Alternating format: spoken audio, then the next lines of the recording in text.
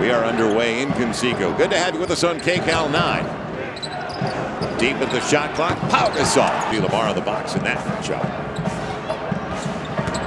Artest leaves it off. Good look for Pau Gasol. Ron Artest on the assist. So the Lakers 5 of 6 from the field. Gasol right back from Kobe. Using the window. No, but Artest gets a second chance.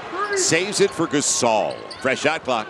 And Pau right by Hibbert with the reverse slam. Responding, what about the face up? Take him off the dribble, Pau. How are you going to finish? That's the way you finish. Nothing cute. Lakers by 11. Artest trying to set up on the block.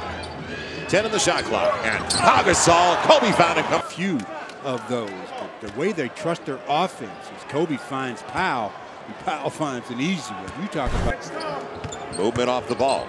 Now Artest leaves it off for Pau Plenty of time with the left hand. Oh, oh and keeping the defender between him and the ball as we get a second look at that beautiful left-hand running hook. Kobe, little give and go action, right back to Pau Gasol. Great look. Kobe gets the assist. In the half, have held the Pacers to 24 points, opening up a 20-point lead. Now there's a humble guy who's going to say no. Terrell Owens. Pau Gasol popping up quickly from the shot clock. Granger with ah, McRoberts oh, denied. Pau Gasol. They're going to generally look for their first option as something that's going to be near the rim so they can just lob it up there. So you got to protect the guy out of bounds. The Lakers 62%. It was an early seal for Gasol. And over Hibbert. Will he get the roll? Yep, everything else is falling. First half of basketball led by Pau Gasol.